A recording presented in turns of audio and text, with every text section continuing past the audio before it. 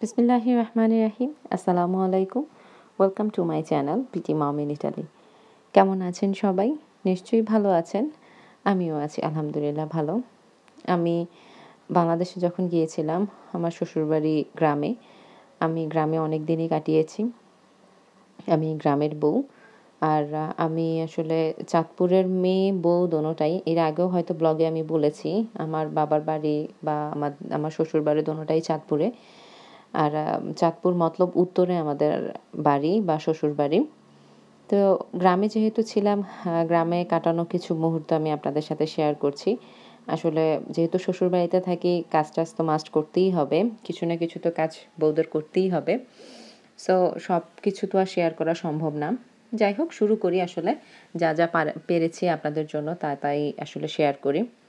একটু সকালবেলা, এদিন সকালবেলা আমি রুটি বানাচ্ছি। তখনও আমার হাজব্যান্ড আর বাবু ঘুম থেকে উঠেনি। আর আমার শাশুড়ি এদিকে দুপুরে রান্নার জন্য সব কিছু রেডি করে ফেলেছে। আসলে এখনও এখানে গ্যাস আসেনি, আর আসার কোনো সম্ভাবনাও মনে হয় না আছে। লাকড়ির চুলাই ব্যবহার করা হয়। এই তো আমার শাশুড়ি রেডি করে চুলার কাছে বসেছে। আর আমি রুটি বানিয়ে যে ঠেকে রেখে দিয়েছিলাম। এখন রুটিগুলো ভাজা হবে। তো আমি চেয়েছিলাম ভাজার জন্য। আসসালামু আলাইকুম।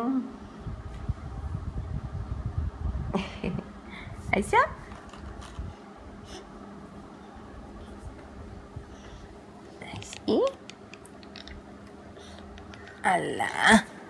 বুঝতেই পারছেন কেন আর ভাজা হয়নি। এর মধ্যে বাবু ঘুম থেকে উঠে যায়। তো আমি বাবুকে নাস্তা রাস্তা করিয়ে নিজে নাস্তা করে আবার যখন কিচেনে আসলাম তো এর মধ্যে বাড়ির সবাই উঠে গেছে। বাড়ির সবাই বলতে আমার হাজব্যান্ডও উঠে গেছে। ও উঠে বাজারও গেছে। তো বাজার থেকে বিশাল বিশাল কিছু চিংড়ি মাছ নিয়ে আসছে। আসলে আমি যখন ইটালিতে ছিলাম, তখনই আমার কিছু চিংড়ি মাছ কিছু না, আমার চিংড়ি মাছটা খেতে খুব ইচ্ছা করেছিল। চিংড়ি মাছের মাথাটা বিশেষ করে। ইটালিতেও পাওয়া যায়, তবে আমার দেশের মাছের স্বাদ বোধহয় অন্যরকম, আর সেটা আমার কাছে লাগে। তাই আসলে দেশি চিংড়ি মাছ খাওয়ার খুব ইচ্ছা ছিল আমার। তো সেই হিসেবে ও বাজারে সামনে পেল, নিয়ে আসছে আরও কিছু মাছ এনেছে। তো এখন এগুলো আমি কাটতে বসে গেছি। এগুলো বলতে আমি শুধু জাস্ট চিংড়ি মাছটাই কাটবো। আর অন্য মাছগুলো আমার পক্ষে আসলে কাটা সম্ভব না। কারণ আমি দা ব্যবহার করতে পারি না। সত্যি কথা যেটা আমার ভয় লাগে, দা ব্যবহার করতে। আগে হয়তো করেছি, কিন্তু অতটা ভালো আমি কখনোই দা ব্যবহার করতে পারিনি। আমি সবসময় ছুরি দিয়ে ট্রাই করতাম। তো এখন যেহেতু অনেক দিন দা ব্যবহার করা হয় না, দা বলতে বটি ব্যবহার করা হয় না সো সেইটা আমি প্রায় ভুলেই গেছি।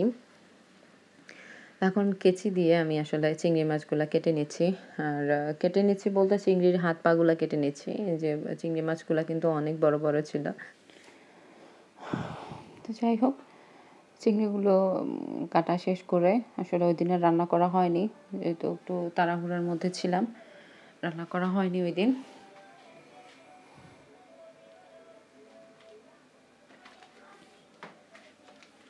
চিংড়িগুলো তাজা ছিল, যখন নিয়ে আসছে তখন কয়েকটা চিংড়ি নানাচাড়া মানে নড়তেছিল।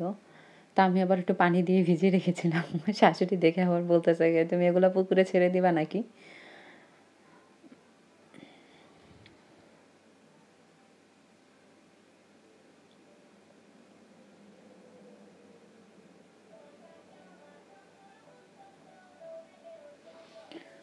এদিকে আমি চিংড়ি মাছ নিয়ে যুদ্ধ করতেছি আর আমার শাশুড়ি রান্না বান্নাটা শেষ করে নিতেছে। আসলে আমরা জানতাম না যে ও আবার বাজারে যাবে বা মাছ আনবে।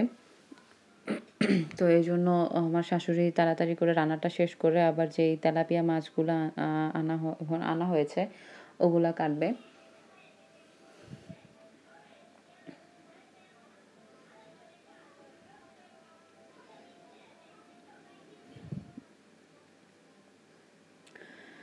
তো এর মধ্যে আসলে দুপুরের খাওয়া দাওয়া শেষ।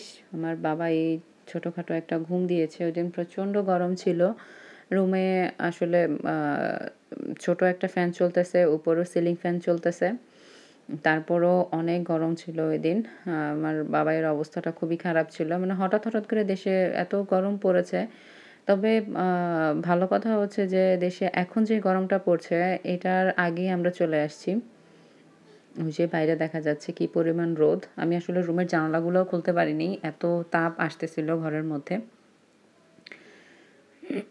তো এটা ছিল এর পরদিন। এর পরদিন আসলে আমার বাবা এর আকিকা দেওয়া হয়েছে।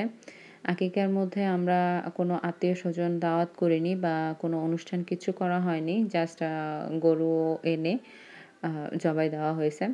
কারণ হচ্ছে যে আমার শাশুড়ি অসুস্থ আর আমার বাবুকে নিয়ে আমার পক্ষে একা আসলে সব কিছু আয়োজন করা সম্ভব না। তাই আর আমার শ্বশুর বা আমার হাজব্যান্ড তারা কেউই আর রাজি হয়নি যে কোনো অনুষ্ঠান করা বা কিছু করা। আমরা জাস্ট আকিকা রীতিনীতি যেগুলো আছে যে গরু জবাই করে, তারপর সবাইকে যার যতটুকু প্রাপ্য ওই হিসাবে আমরা বিলি বন্টন করে দিছি। আর কিছু মাংস রেখে দেওয়া হয়েছে বাসার জন্য। বাসার জন্য বলতে ওই বাসায় একেবারে যে গেস্ট আসেনি তা না, অল্প কিছু একেবারেই ঘরের মানুষজন। যেমন আমার চাচা শ্বশুর চাচা শ্বশুর নেই সরি আমার চাচি শাশুড়ি, তাদের ফ্যামিলির মানুষজন তো আছে। তো ওই দিনের আসলে রান্নাটা আমিই করেছি। আর এই ফার্স্ট হয়তো আমি লাকড়ির চুলায় রান্না করছি। আর এর আগেও আমি করেছিলাম, কিন্তু তখন আসলে এতটা ভালো করে আমি রান্নাই পারতাম না। তখন জাস্ট চুলা জাস্ট আগুন কীভাবে জ্বালিয়ে রাখতে হয়, লাকড়ি দেওয়া এতটুকুই আমার কাজ ছিল। কিন্তু এই দিন আসলে আমি আমি রান্না করেছি গরুর মাংস প্লাস পাশের চুলায় সম্ভবত ভাত বসানো আছে।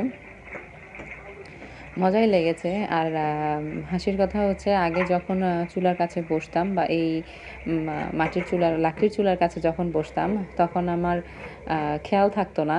আমি এক চুলায় কিছু বসালে ওইটার দিকে আমার খেয়াল থাকতো, আমি ওইটাই নাড়াচাড়া করতাম, এদিক দিয়ে আগুন নিভে যেত। পরে আমার শাশুড়ি এসে আবার আগুন ধরাতো। কিন্তু এখন ভালোই পারি। তো এই তো, ঘরে আমি রান্না টান্না শেষ করে ঘর টর ঝাড়ু দিয়ে এদিকে সব কাজ শেষ করে ফেলেছি।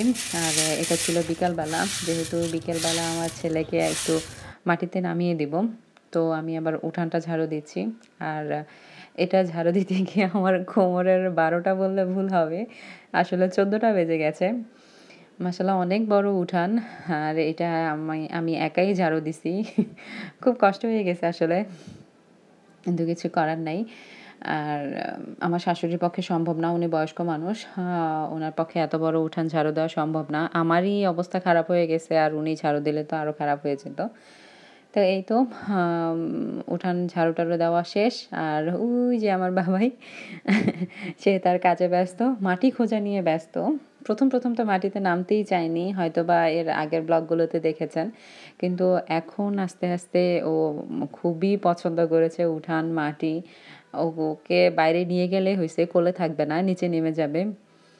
ওই যে উনি খুঁজে খুঁজে মাটি দেখছে আর মুখে দিচ্ছে, ও খেয়েছে অনেক মাটি। তো আসলে আজকের মতো এখানেই শেষ করছি। কেমন লাগল জানাবেন কমেন্টে। আল্লাহ হাফেজ।